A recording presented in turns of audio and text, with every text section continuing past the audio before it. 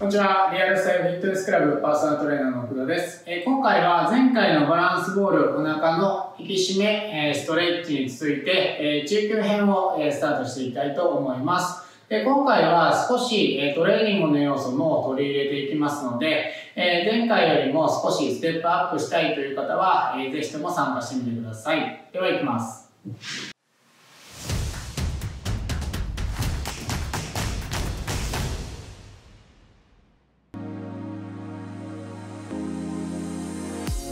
はい。ではまずはバランスボールの上に乗っていきます。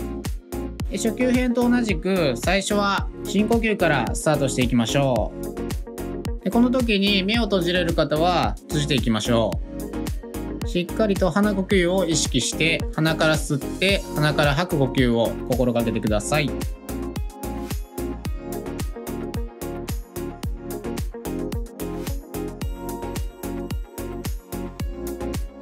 はい、OK です。では少し休憩を取ったら、次はひねっていきます。ツイストの動きになります。頭の後ろに手を組んで、肘を反対の膝に近づけていきます。可能な方は肘が膝につくところまでしっかりとひねってみてください。難しい方は少し手前で止めていただいても大丈夫です。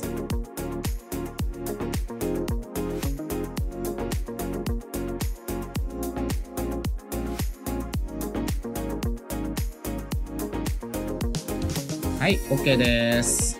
では次は反対側を行っていきます。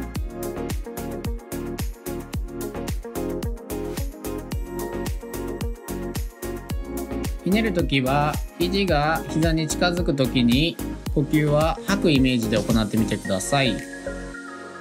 お腹の空気を抜いていくようなイメージでしっかりとひねっていきましょう。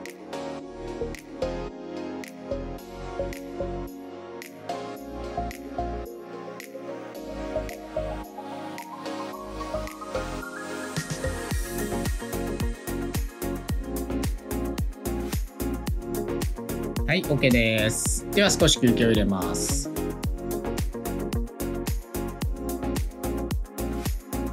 次は回旋運動になります。手を後ろで組んで体をひねっていきます。左右にしっかりと体をひねっていきましょう。目線はひねる方向に合わせてみてください。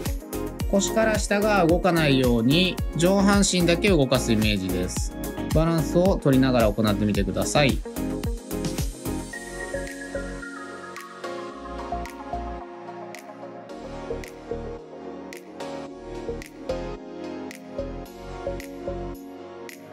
はい、OK です。では少しバランスボールから降りていただいたら、今度は背中をバランスボールにつけます。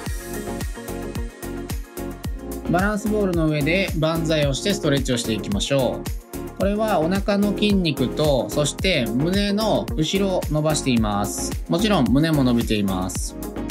猫背になるとどうしてもここの筋肉が固まってしまうのでしっかりと伸ばしていきましょう。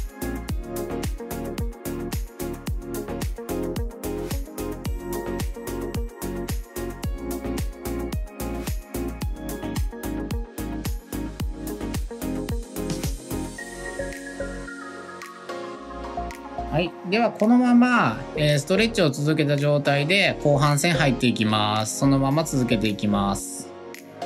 深呼吸をしながら体をバランスボールに預けるようにストレッチをしていきます。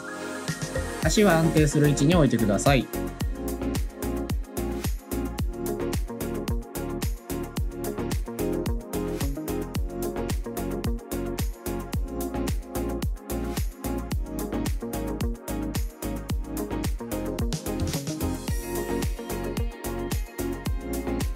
OK です。では今度もう一度バランスボールの上に戻ってもらって回線運動からスタートしていきます。後ろで組んでひねっていきましょう。目線はひねる方向に合わせてください。ひねる時に呼吸を吐いていくようなイメージでお願いします。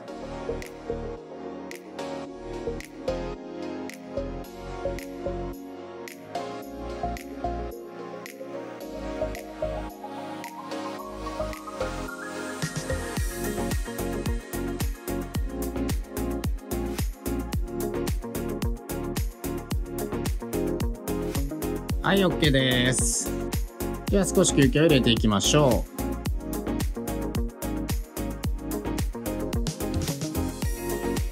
はいでは今度は肘を膝に近づけていきます。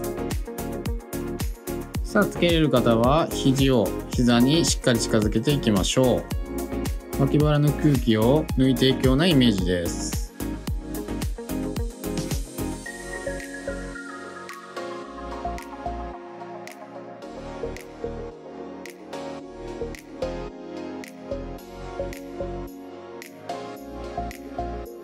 はい、OK です。じゃあ次は反対を行っていきたいと思います。では行きましょう。肘を膝に近づける。肘をしっかりと近づけてバランスを取りながら行っていきます。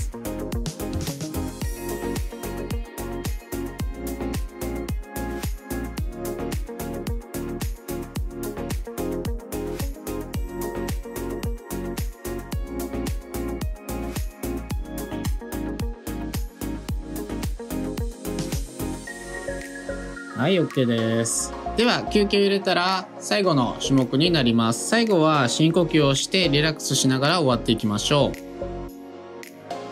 う。では行きます。目を閉じて鼻で呼吸をしながらリラックスしていきます。吐く方を意識して長く吐くイメージで行ってみてください。